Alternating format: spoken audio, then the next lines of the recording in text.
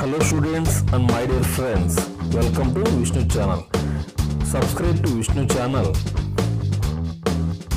and activate bell icon for latest updates. Okay, thank you. Hello students, welcome to this session. In this session we are going to learn about velocity of sound in air.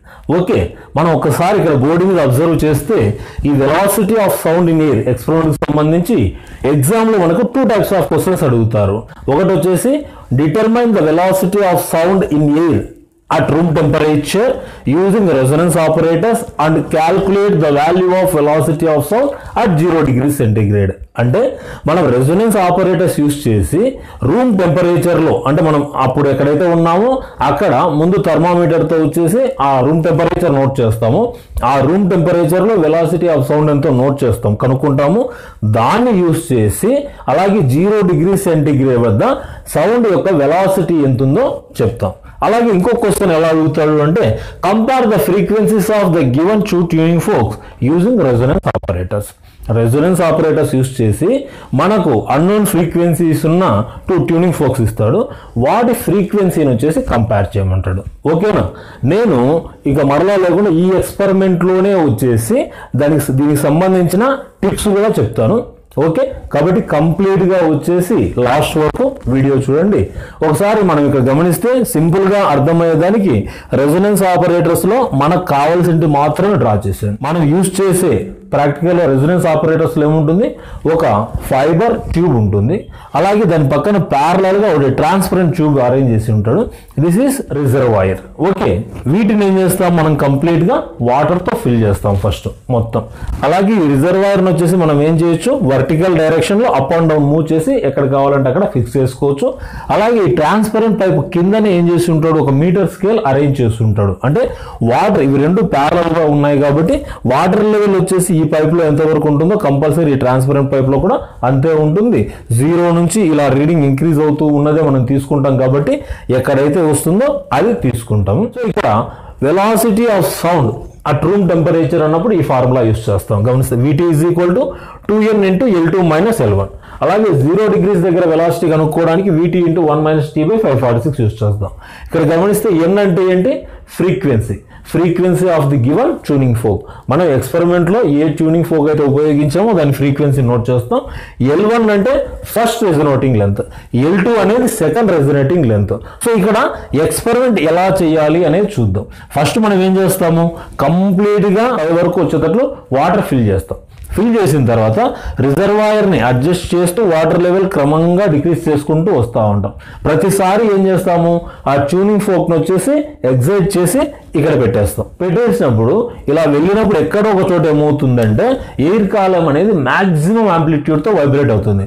Air column maximum యాంప్లిట్యూడ్తో ఎప్పుడు vibrate అవుతుంది అంటే ఇలా ఇక్కడ వరకు water ఉన్నాయి అనుకున్నాము అంటే ఇలా వెళ్ళి ఎగ్జాక్ట్లీ మిడిల్లో నుంచి మరలా అది రిఫ్లెక్ట్ ఇలా వచ్చినప్పుడే మ్యాక్సిమం యాంప్లిట్యూడ్ అనేది ఉంటుంది.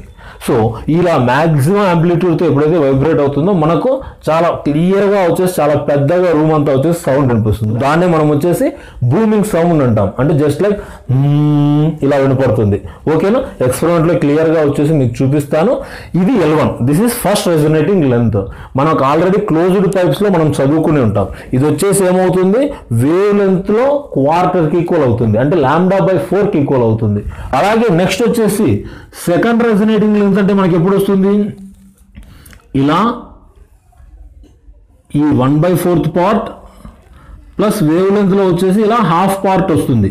So lambda by two plus lambda by four three lambda by four అవుతుంది. సో ఆ వాల్యూస్ అన్ని మనం క్యాల్కులేట్ చేసి అవన్నీ సబ్స్టిట్యూట్ చేసి వాటిని ఈ రెండింటిని ఒక దాంట్లోంచి ఒకటి వచ్చేసి మనం మైనస్ చేస్తే మనకి ఏమొస్తా ఉంది VT is equal two N into L two minus L one అవుతా ఉంది ఇది first resonating length second resonating length అయితే ఈ రెండింటిని చూస్తే ఇది వచ్చేసి lambda by four this is three lambda by four అంటే రెండింటికి డిఫరెన్స్ ఎంత వస్తూ ఉంది? త్రీ టైమ్స్ వస్తూ ఉంది. సో కాబట్టి ఫస్ట్ వన్ వచ్చేసి మనకు ఫిఫ్టీన్ దగ్గర ఫస్ట్ రెజ్యునేటింగ్ లెంత్ వచ్చిందంటే ఖచ్చితంగా next second resonating length three టైమ్స్లో అంటే ఫార్టీ ఫైవ్ తర్వాత వస్తుంది. అదే వచ్చేసి ట్వంటీ దగ్గర వస్తే నెక్స్ట్ రెజ్యునేటింగ్ లెంత్ సిక్స్టీ తర్వాత వస్తుంది. ఈ పాయింట్ జాగ్రత్తగా గుర్తుపెట్టుకోండి. ఓకేనా సో ఇప్పుడు నేను మీకు ట్యూనింగ్ ఫోక్స్ వచ్చేసి ఒకసారి చూపిస్తాను. అబ్జర్వ్ చేయండి. నా దగ్గర వచ్చేసి అబ్జర్వ్ చేస్తే ఇది టూ ట్యూనింగ్ ఫోక్స్ ఉన్నాయి. ఒకటి వచ్చేసి చాలా చిన్నగా ఉంది ఒకటి వచ్చేసి చాలా పెద్దగా ఉంది. ఇప్పుడు జనరల్గా వచ్చేసి మీరు ప్రాక్టికల్స్లో ఏం చేస్తూ ఉంటారు అంటే ఎక్స్పెరిమెంట్ చేసేటప్పుడు ఈ చిన్నగా ఉన్నది పట్టుకోవడానికి ఇబ్బంది కన్వీనియంట్గా ఉండదు అని దీన్ని పక్కన పెట్టేసి బాగా పెద్దగా ఉన్నటువంటి ఈ ట్యూనింగ్ ఫోక్తో వచ్చేసి ఎక్స్పెరిమెంట్ చేస్తూ ఉంటారు. సో అలా చేయడం అనేది చాలా తప్పు. ఎందుకు అంటే ఇది సైజు తగ్గే కొద్దీ దీని ఫ్రీక్వెన్సీ వచ్చేసి పెరుగుతూ ఉంటుంది. అలాగే సైజ్ పెరిగే కొద్దీ ఫ్రీక్వెన్సీ తగ్గుతూ ఉంటుంది. ఇప్పుడు దీని యొక్క ఫ్రీక్వెన్సీ వచ్చేసి ఇప్పుడు ఫైవ్ ట్వెల్వ్ హెడ్జెస్ దీని ఫ్రీక్వెన్సీ వచ్చేసి just two eighty eight hertz ఓకేనా అంటే ఇది వచ్చేసి per second five hundred and twelve times వచ్చేసి వైబ్రేట్ అవుతుంది. ఇది only two hundred and eighty eight times vibrate అవుతుంది. కాబట్టి దీన్ని మనం యూజ్ చేస్తే ఏమవుతుంది అంటే ఈ రెజనేటింగ్ లెంత్ ఎల్ వన్ అనేది చాలా తక్కువ డ్యూరేషన్లోనే వస్తుంది. అంటే దీనికి వచ్చేసి దాదాపు ట్వంటీ సిక్స్ ట్వంటీ సెవెన్ లేదా ట్వంటీ ఎయిట్ సెంటీమీటర్స్లో వస్తే ఎయిర్ ఎయిర్ కాలం లెంత్ దీనికి వచ్చేసి ఫోర్టీన్ ఫిఫ్టీన్ సిక్స్టీన్ సెవెంటీన్ ఆ రేంజ్లోనే వచ్చేస్తుంది. ఓకేనా? సో ఎప్పుడు కూడా ఇక్కడ గుర్తుపెట్టుకోవాల్సిన ఒక విషయం ఏంటి అంటే మీకు ఎగ్జామ్లో వచ్చేసి టూ ట్యూనింగ్ ఫోక్స్ ఇస్తాడు. అన్నోన్ ఫ్రీక్వెన్సీస్ వాటిని కనుక్కోమన్నా కూడా one is N one another one is N two అవుతుంది. ఎక్స్పెరిమెంట్ మాత్రము రెండింటిలో ఒకసారి ఇక్కడ దగ్గర పెట్టేసి చూసాము అంటే మనకు ఏదైతే చిన్నగా ఉందో దాంతో స్టార్ట్ చేయండి. అంటే వేరే లెంత్లోనే ఎయిర్ కాలం చాలా తక్కువగా ఉన్నప్పుడే వచ్చేసి మనకు ఎల్వన్ వచ్చేస్తుంది. దాని తర్వాత దాన్ని అలాగే కొద్దిగా ఇంక్రీజ్ చేసుకుంటూ పోయి మరలా ఏమవుతుంది? ఈ కల ఏదైతే కొంచెం ఇంకా పెద్దగా ఉందో దాంతో వచ్చేస్తే అది కూడా ఎల్వన్ వచ్చేస్తుంది. ఆ తర్వాత ఫస్ట్ వన్ వచ్చేసి మనకు ట్వంటీ వచ్చిందంటే డైరెక్ట్గా దీన్ని వచ్చేసి సిక్స్టీ దగ్గర పెట్టేసి సిక్స్టీ నుంచి క్రిందికి దించుకుంటూ దాని యొక్క సెకండ్ రెజినేటింగ్ లెంత్ కనుక్కుంటాం అక్కడి నుంచి మళ్ళీ కంటిన్యూ చేసుకుంటూ పెద్దగా ఉన్న దాని సెకండ్ రెజినేటింగ్ లెంత్ కనుక్కుంటాం. ఓకే ఈ పాయింట్ బాగా అర్థమైంది కదా? ఫస్ట్ మ్యాక్సిమం ఫ్రీక్వెన్సీ ఉన్నటువంటి ట్యూనింగ్ ఫోక్తోనే ఎక్స్పెరిమెంట్ స్టార్ట్ చేయాలి. తర్వాత దానికంటే తక్కువ ఉన్న దాంతో స్టార్ట్ చేయాలి. ఓకేనా ఇలా మనం ఎక్స్పెరిమెంట్ చేస్తాం. ఓకే నేను ఇప్పుడు ఆ ఎక్స్పెరిమెంట్ చేసేటప్పుడు మనకు సౌండ్ ఎలా వినిపిస్తుంది అనేది ఎక్స్పెరిమెంట్లో క్లియర్గా చూపిస్తాను. దాని తర్వాత ఆ రీడింగ్స్ అవి నేను తీసేసి ఆ రీడింగ్స్ మీకు బోర్డు మీద రాసి క్లియర్గా ఎక్స్ప్లెయిన్ చేస్తూ ఏ ఏ పాయింట్లు గుర్తుపెట్టుకోవాలో కూడా మీకు ఎక్స్ప్లెయిన్ చేస్తాను. ఓకే జాగ్రత్తగా గమనించండి. Observe sound clearly will exciting this tuning fork using rubber hammer okay? Again. So the sound is very clear. Again observe.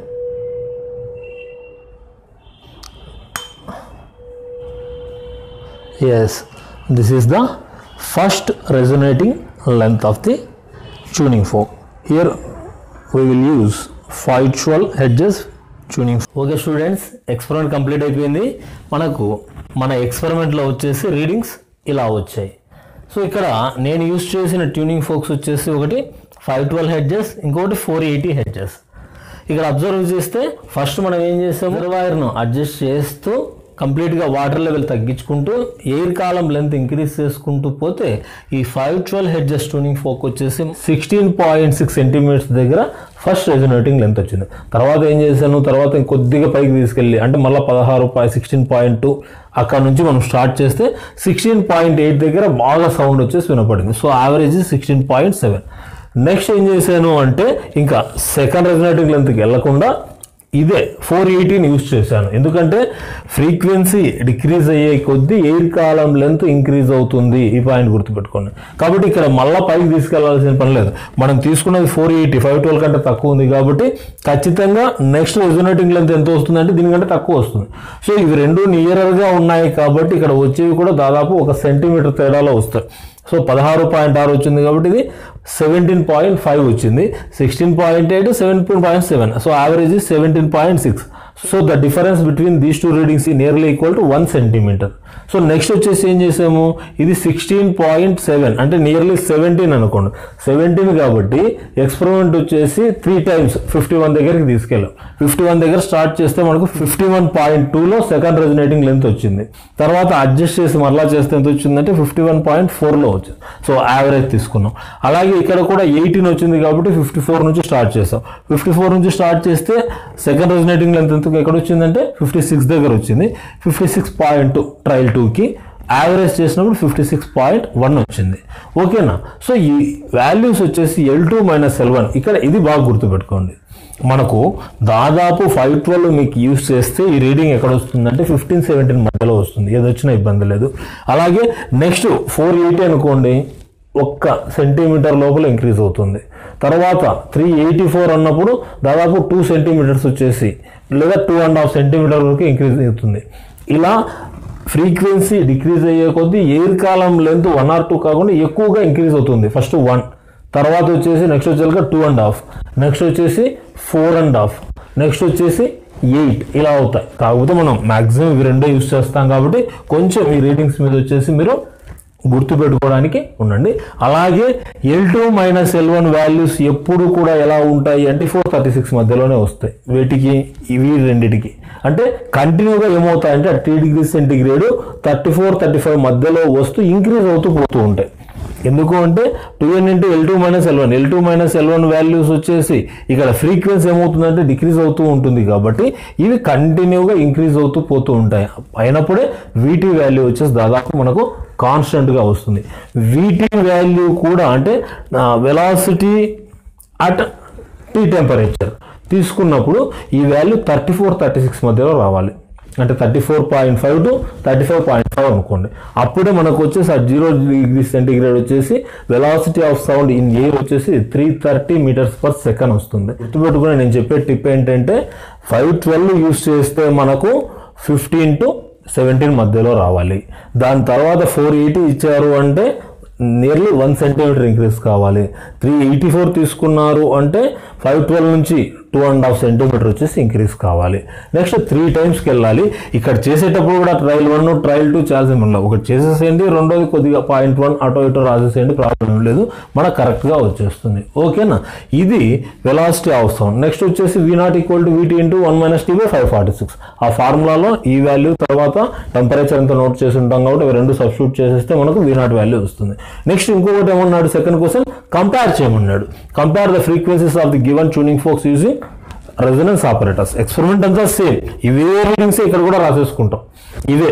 అయితే ఇక్కడ ఏంటి? మనకు నోన్ కాబట్టి తెలుసు అని రాసుకున్నాం. ఫైవ్ ట్వెల్వ్ ఫోర్ ఎయిట్ ఇక్కడ ఇది ఎన్ వన్ అనుకోండి ఇది ఎన్ టూ అనుకోండి. ఇవే వాల్యూస్ ఇక్కడ కూడా వస్తాయి. అయితే N one by N two equal to L two dash minus L one dash by L two minus L one N is inversely proportional to L ఎల్కి వచ్చేసి ఎన్ ఇన్వర్స్లీ ప్రపోర్షనల్లో ఉంటుంది. కాబట్టి మనం ఏం చేస్తామంటే ఇవి రివర్స్ అవుతాయి. అంటే ఎన్ వన్ వాల్యూస్ వచ్చేసి కిందికి వస్తాయి ఎన్ టూ వాల్యూస్ పైకి వెళ్తాయి. అదొక జాగ్రత్తగా గుర్తుపెట్టుకోండి. ఇక్కడ కూడా వచ్చేసి ఎగ్జామ్లో మీరు చేసేటప్పుడు గుర్తుపెట్టుకోవాల్సింది ఏంటి అంటే టూ డిఫరెంట్ ఫ్రీక్వెన్సీస్ ఉన్నటువంటి అన్నోన్ అంటే వాటికి ఏదో వచ్చి చుట్టేసి అట్లా ఇచ్చేస్తారు. మీరు తీసేదానికి అవకాశం ఉండదు కాబట్టి ఫస్ట్ చిన్నగా ఉన్న దాంతో ఎక్స్పెరిమెంట్ స్టార్ట్ చేయండి. తర్వాత పెద్దగా ఉన్న దాంట్లో చేయండి. తిన్నగా ఉన్న దాంట్లో చేస్తే మనకి ఏమొస్తుందంటే ఇలా వచ్చేస్తాయి రీడింగ్స్. పెద్దగా ఉన్న దాంతో చేసినప్పుడు ఇలా వస్తాయి. అంటే దీనికంటే ఈ వాల్యూస్ వచ్చేసి ఎక్కువ ఉంటాయి. మనం L two minus L one అన్నప్పుడు కూడా ఈ క్రింద వాల్యూ ఎక్కువ పై వాల్యూ తక్కువ కాబట్టి ఇది పైకి వెళ్ళిపోతుంది అది కిందికి వస్తుంది రివర్స్లో. సో కాబట్టి ఖచ్చితంగా మనకు వన్ పాయింట్ సంథింగ్ వస్తుంది. అంటే five twelve by four eighty అంటే వన్ పాయింటే వస్తుంది. త్రీ ఎయిటీ ఫోర్ అన్న వన్ పాయింటే వస్తుంది. సో ఆ వాటిని ఒకసారి మీరు జాగ్రత్తగా గమనిస్తే దానికి నియరల్గా ఉంది. అంటే ఫైవ్ ట్వెల్వ్కి వచ్చేసి చాలా దగ్గరగా ఉంది అంటే ఫోర్ ఎయిటీ దానికంటే కొంచెం పెద్ద పెద్దగా ఉంది అంటే త్రీ ఎయిటీ ఫోర్ దానికంటే బాగా డిఫరెన్స్ వచ్చేసి చాలా ఎక్కువగా ఉంది అంటే వచ్చేసి టూ ఎయిటీ ఎయిట్ ఓకే ఒకసారి నేను చూపిస్తాను గమనించండి. అబ్జర్వ్ చేయండి. ఇది ఫైవ్ ట్వెల్వ్ ఇది వచ్చేసి ఫోర్ ఎయిటీ ఈ రెండింటికి చూడండి పెద్దగా డిఫరెన్స్ ఏం లేదు. చాలా తక్కువ డిఫరెన్స్ ఉంది ఈ రెండు. దాదాపు దగ్గరగా ఉన్నాయి. అదే వచ్చేసి మనం త్రీ ఎయిటీ ఫోర్ తీసుకున్నాము అంటే దాన్ని దాటి వెళ్ళిపోతా ఉంది డబుల్ అయినట్లుగా ఉంది. అదే వచ్చేసి మనం టూ ఎయిటీ ఎయిట్ చూస్తే ఇంకా చాలా అసలు సంబంధం లేకుండా డబల్ ఉంది. సో దీని ప్రకారము మనం వచ్చేసి ఇచ్చిన ట్యూనింగ్ ఫోక్స్ వచ్చేసి గెస్ చేయొచ్చు. అలాగే ఎప్పుడు కూడా వీటి value thirty four point five to thirty six point five మధ్యలో వస్తే వీనాట్ మనకు ఎఫెక్టివ్గా కరెక్ట్గా వస్తుంది. అది ఒకటి గుర్తుపెట్టుకోండి. ఇక్కడ టిప్ ఏంటి అంటే మనం ఫస్ట్ ఎప్పుడూ కూడా చిన్నగా ఉన్నటువంటి ట్యూనింగ్ ఫోక్ని యూస్ చేయాలి. అలాగే ఫైవ్ ట్వెల్వ్ యూస్ చేసినప్పుడు మీరు రీడింగ్ ఫిఫ్టీన్ టు సెవెంటీన్ మధ్యలో వస్తాయి అక్కడ నుంచి వెళ్ళే కొద్దీ మీకు అక్కడ ఎగ్జామ్లో వచ్చేసి ఫిఫ్టీన్ సెవెంటీన్ మధ్యలో రాలేదు అంటే నెక్స్ట్ ఫోర్ ఎయిటీ ఇచ్చి అంటే నీకు ఎయిటీన్ దగ్గర వస్తుంది. లేదు దాని తర్వాత వచ్చేసి త్రీ ఎయిటీ ఫోర్ ఇస్తే ట్వంటీ దగ్గర వస్తుంది. అంటే ఇట్లా ఒక ఐడియా వచ్చేసి దాని మీద పెట్టేసుకోండి. ఓకేనా? ఇక్కడ మనం పాటించాల్సింది ఏంటంటే చిన్న ట్యూనింగ్ ఫోక్తో ఎక్స్పెరిమెంట్ స్టార్ట్ చేయాలి. వీటి వాల్యూస్ ఎప్పుడు థర్టీ ఫోర్ పాయింట్ ఫైవ్ నుండి థర్టీ సిక్స్ పాయింట్ ఫైవ్ మంత్ వస్తుంది. ఓకే సో నెక్స్ట్ కంపల్సరీ ఆ టిప్స్ అవి చెప్పేటప్పుడు అక్కడ మరలా వచ్చేసి నీట్గా వాటి గురించి ఎక్స్ప్లెయిన్ చేస్తాను. ఇది క్లియర్గా అర్థమైంది అనుకుంటా ఉన్నాను. ఓకే ఈ వీడియో నచ్చితే ఖచ్చితంగా మీ ఫ్రెండ్స్కి షేర్ చేయండి. Don't forget to subscribe Vishnu channel okay thank you